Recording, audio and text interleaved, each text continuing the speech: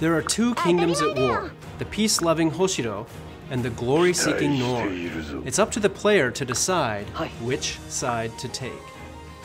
As always, there are two sides to every story, and in this game, the path you choose ultimately decides your character's fate. No matter what, the world and characters will be the same, but depending on the decision you make, the storyline, battles, and outcomes will be drastically different.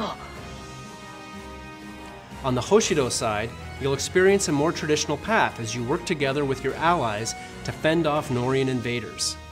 Because this path story is more similar to past Fire Emblem games, it's a bit more accessible, even for newcomers.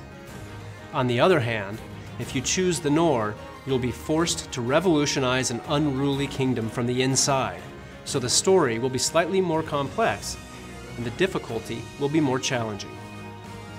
The new Fire Emblem for Nintendo 3DS is planned for a 2016 release in North America. Stay tuned for more information in the future.